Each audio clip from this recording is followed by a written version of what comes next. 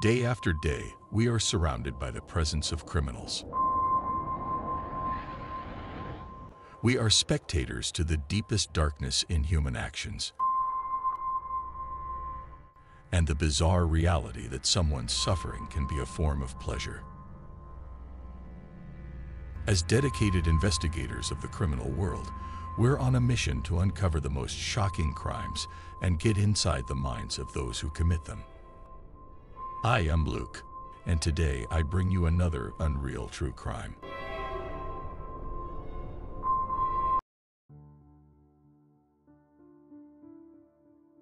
The Case of the Shelter of Terror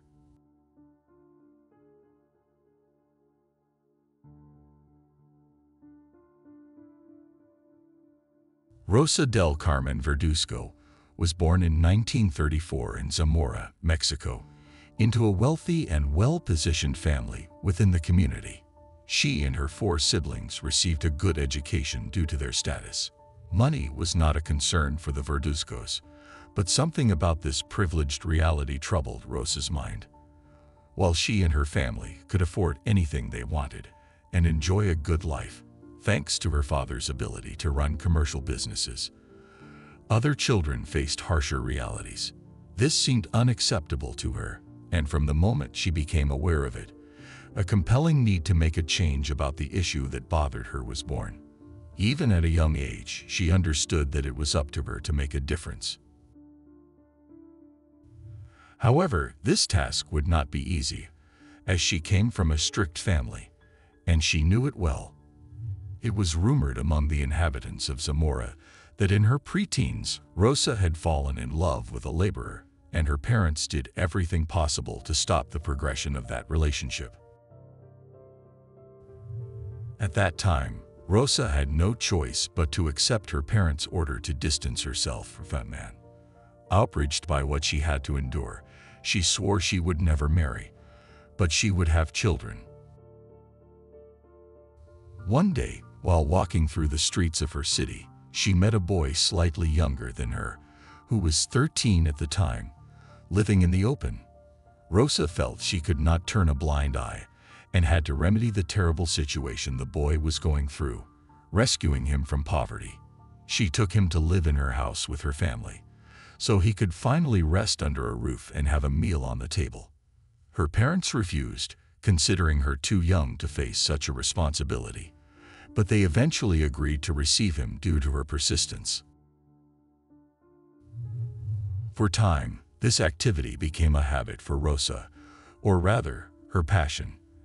After a few months, the number of children living under her care had multiplied, Amidst this turmoil in the Verduzco household, her father passed away.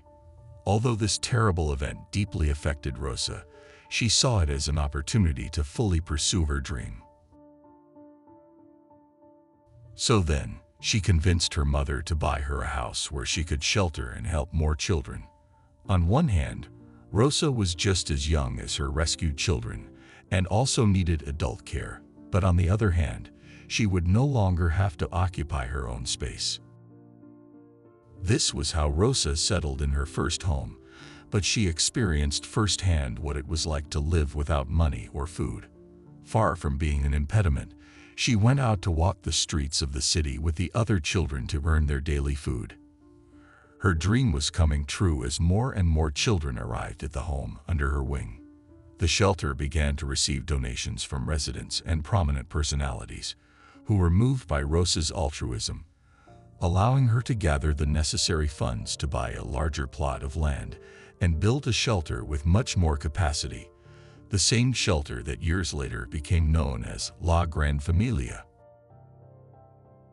Rosa Verduzco's work was quickly recognized by the population, who were inspired by her commitment and devotion to the care of minors, and consequently, donations soon appeared. Food, School supplies, cleaning products, and money, among other things, made it possible to maintain the place that Rosa and her children built with their own hands.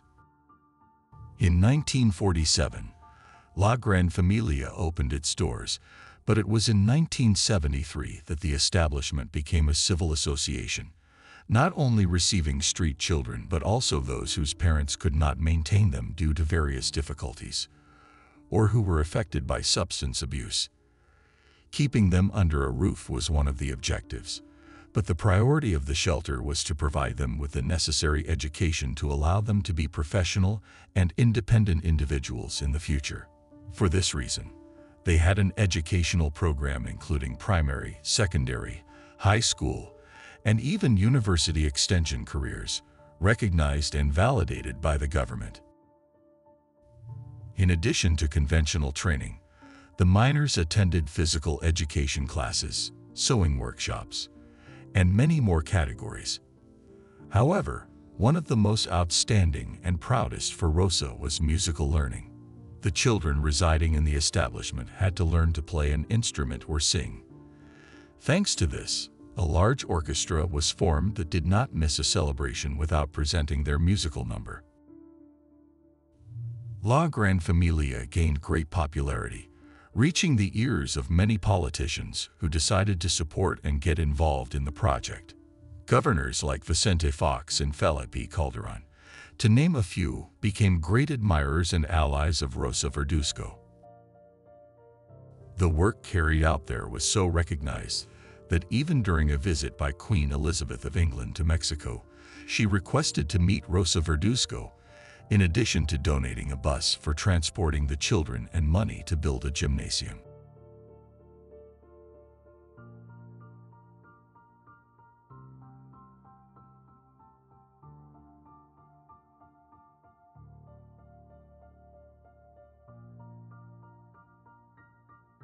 Rosa agreed to the meeting, but added a condition to the Queen's request.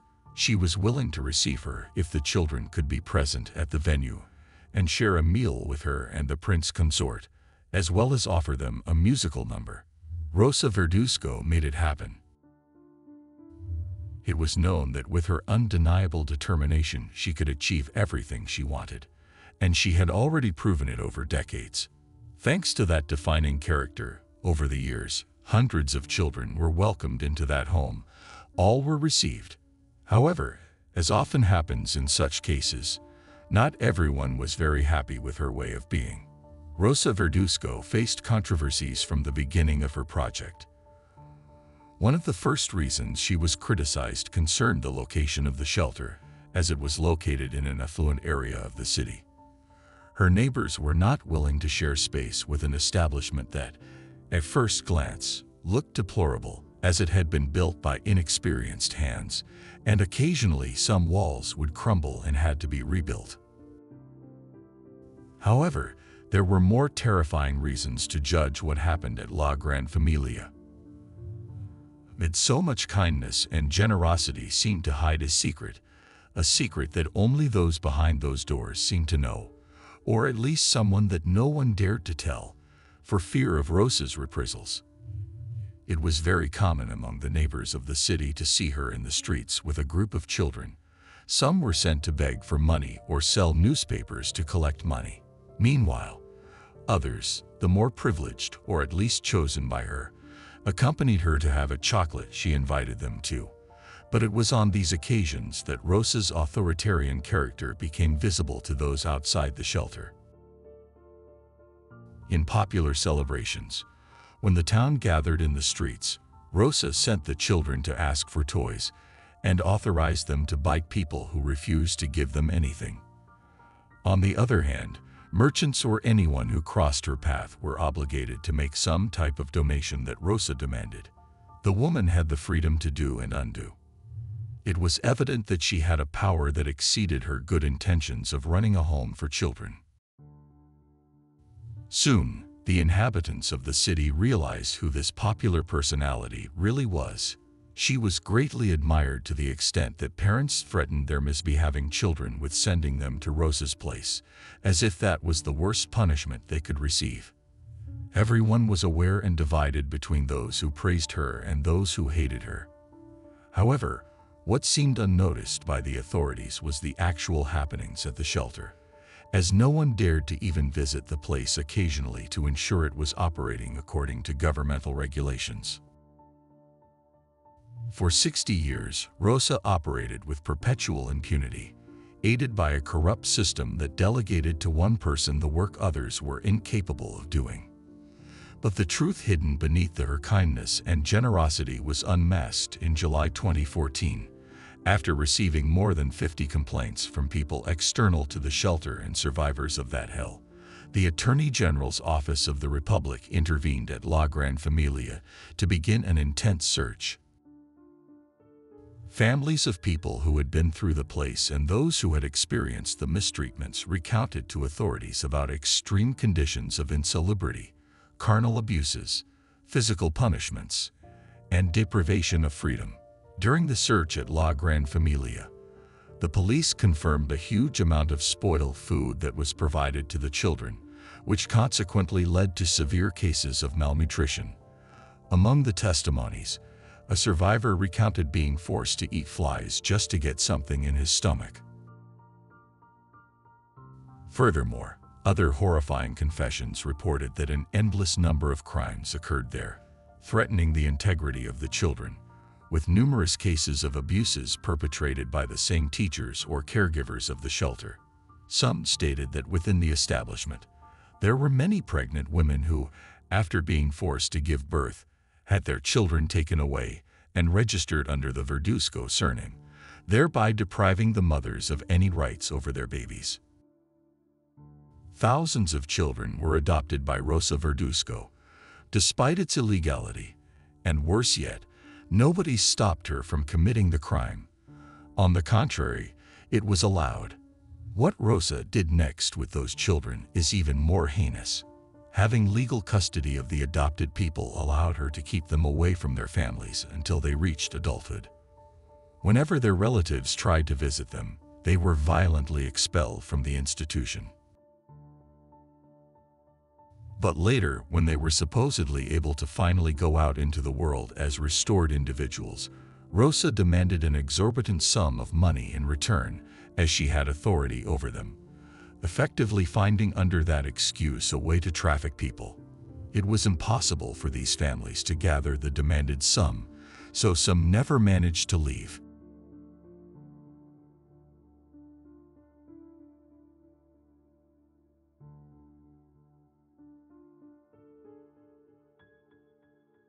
Moreover, if they tried to escape, they faced brutal beatings and confinement in cells, to the point that one of the victims reported that after a failed escape attempt, their ears were cut off as punishment. What had once been a shelter had ultimately become a prison. Long list of testimonies exposed the tortures and crimes committed within La Gran Familia. At the time, the Attorney General's office witnessed firsthand the deplorable state of the facilities. Children sleeping in broken bunk beds among trash, rats, and bedbugs, completely dirty bathrooms, and terrible infrastructure. The nauseating odor emanating from the place could be felt from the street, with excrement, urine, and decomposing food revealing the reality that was lived there. It was evident that the place was neglected and the money from donations was not being used for improvements.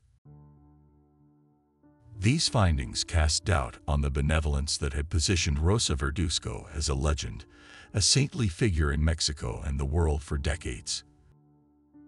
Thus, finally, on July 15, 2014, the 81-year-old woman and six of her assistants were arrested. Meanwhile, more than 600 people living there, including minors and adults, were rescued from the precarious conditions. Despite all the evidence against her, Rosa Verduzco was released without any charges due to her delicate health condition.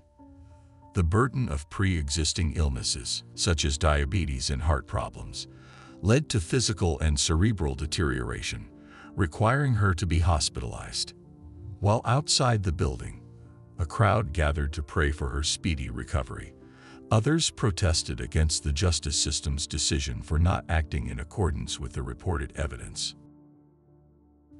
Finally, two years later, at the age of 84, after being hospitalized again for 20 days, Rosa del Carmen Verduzco passed away due to a sudden stroke. As for the other accused, Out of the six, only two were charged with the crimes committed. The others were released just like Rosa. In 2016, two years after the discovery of the truth, the Attorney General's office declared itself incompetent to follow up on the investigation into the case, deciding to leave it in the hands of the state.